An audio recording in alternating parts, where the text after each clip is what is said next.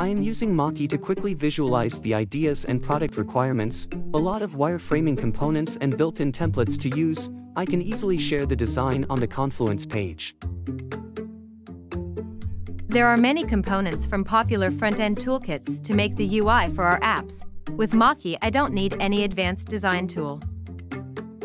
I can see the structure of the UI works with the grid and page map and keep track of the statuses on the Kanban board. Drawing our infrastructure is never easier with Maki. Create the system architecture diagram, UML, network elements, and cloud. I can visualize our organization charts and our sophisticated workflows rapidly with Maki. Maki is awesome.